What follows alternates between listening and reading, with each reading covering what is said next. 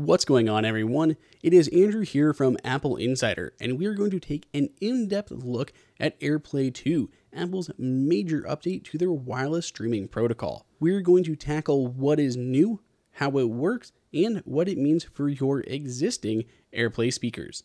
The biggest update to AirPlay 2 is going to be multi room audio a feature that's been available on the Mac inside of iTunes for some time, now makes its way to iOS and tvOS. Whenever you access your AirPlay preferences on your, your iOS device, you can jump into the music controls there. You can see all the AirPlay 2 speakers below, and by tapping on the actual AirPlay icon, you can jump in and actually cast to one or several AirPlay 2 speakers all at the same time. If I want to play some songs by Cage the Elephant inside of the dining room, easy, just tap on that. But if I want to go to more speakers than that, I just want it through the entire house, I can do the same thing by casting it over to the living room. You'll notice how they disappear from their standalone cards and join in that multi-selected list on the top. I can control the volume independently for each individual speaker, moving them up and down, or I can adjust them at the same time. And as a really nice touch, if the volumes are actually offset, like maybe I have one speaker a little bit louder than the other, as I move them together and they're offset, it'll keep that same balance of audio between both of them.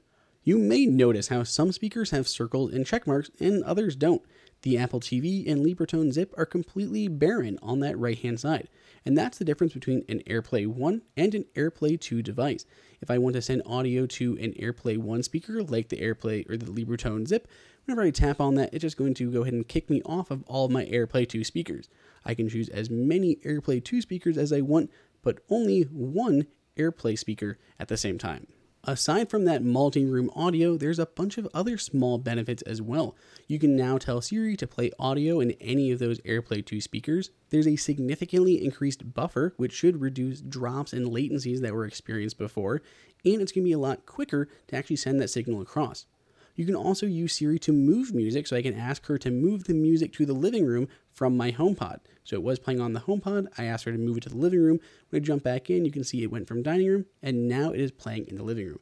So really handy as you move about your house. Just ask Siri to play the music in the room that you're in, and she can do that. Luckily, using AirPlay 2 is pretty familiar if you've used AirPlay 1. It's in the same spots whether you're in those AirPlay controls inside a control center or you go into your favorite audio app and find the AirPlay icon, like Music, Audible, Pandora, Spotify, whatever it may be. But there is a new home for AirPlay speakers because AirPlay 2 speakers are now part of HomeKit. Inside of the Home app, you'll actually see any AirPlay 2 speakers show up, including my living room Apple TV, my bedroom Apple TV, or my HomePod that's in the dining room. I can play and pause them just by tapping on their little cards here, and they can be added to favorites and accessed from with any home widgets. Unfortunately, that's where the HomeKit pretty much ends. There's not anything else you can do.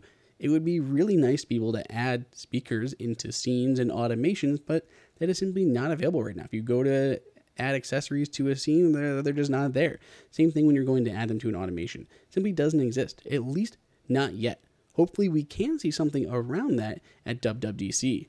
AirPlay 2 is not just for your iOS and HomePod devices, well, it is, of course, for the Apple TV. So, there's a few things to know about AirPlay 2 on the Apple TV.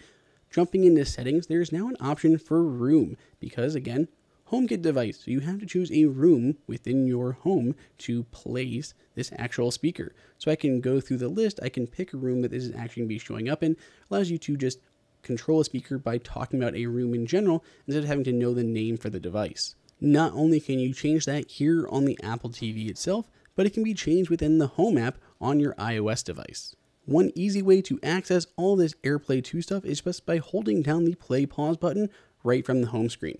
Now you'll see here, this is the Apple TV that we're on here in the living room. It is casting audio to my MacBook Pro as I'm doing a screen recording, but I can choose any different AirPlay 2 speaker, which again has the circle on the right hand side or a check mark.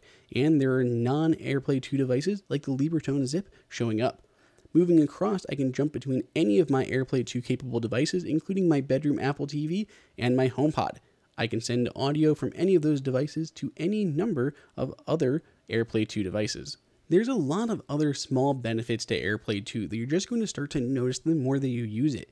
It is more stable, there's less buffering, there's less drops and lag in between things. Unfortunately, the Mac still does not have AirPlay 2 or HomeKit for that matter, so you're still going to have a lot of those problems going from your Mac to a HomePod or an Apple TV, but hopefully we'll hear something more concrete about that improvement at WWDC.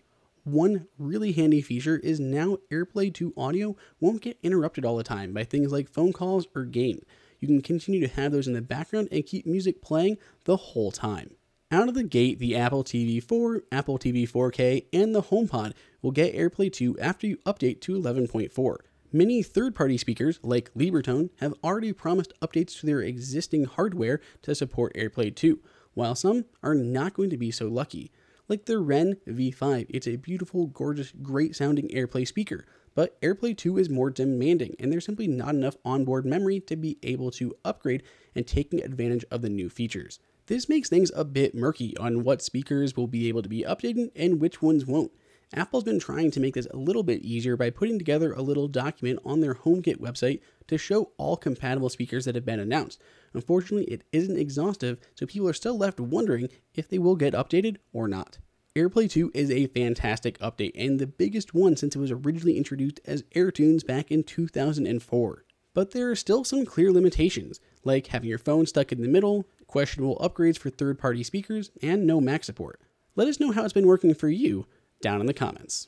If you enjoyed this video, like it and hit that subscribe button. Also, check out our price guide, which makes it extremely easy to find the best deals on Apple products updated daily. Be sure to follow us on social media and we'll see you in the next video.